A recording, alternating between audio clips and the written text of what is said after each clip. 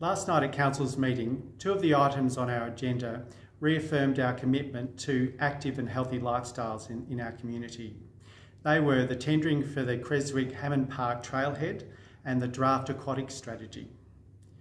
In particular, the Draft Aquatic Strategy looks at a roadmap for our community around healthy lifestyle and active swimming facilities. And this document produces both a vision for what an indoor aquatics facility might look like, which is a big desire in our community coming from the uh, um, feedback that we received in over a thousand uh, participants.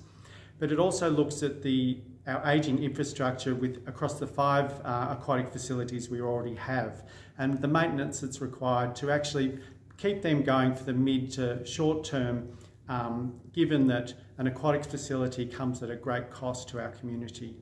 Um, so what we heard from you is that there are some shortcomings with our existing facilities around um, for older people, for, for younger people, for people with accessibility issues, and we want to address that.